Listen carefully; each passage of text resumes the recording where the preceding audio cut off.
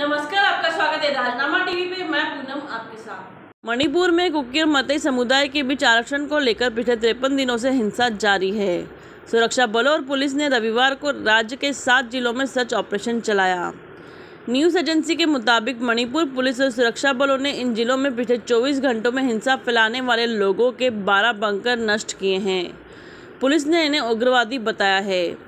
सुरक्षा बलों ने तामेंगलोंग, इम्फाल ईस्ट, विष्णुपुर, कांगपोकपी चांदपुर और कांगचिंग जिलों में ज्वाइंट ऑपरेशन चलाया और हिल और वैली दोनों जगह इन बंकरों को नष्ट कर दिया। मणिपुर हिंसा पर 24 जून को हुई सर्वदलीय बैठक में गृह मंत्रालय ने जानकारी दी कि हिंसा में अब तक एक सौ इकतीस लोगों की मौत हो चुकी है और 419 लोग घायल हुए हैं। आगजनी की 5000 से ज़्यादा घटनाएँ हुई है। लगभग 6000 मामले दर्ज हुए हैं और 144 लोगों की गिरफ्तारी हुई है। राज्य में छत्तीस हज़ार सुरक्षाकर्मी और 40 आईपीएस तैनात किए गए हैं। पुलिस ने बताया कि सर्च ऑपरेशन के दौरान तीन इक्यावन मिलीमीटर मोटार और चौरासी मिलीमीटर मोटार गोले साहमफाई गाँव के खेत में पाए गए। कामवई और एस कोटलियान गाँव के बीच के खेत में एक आईईडी भी मिला इन्हें नष्ट कर दिया गया है।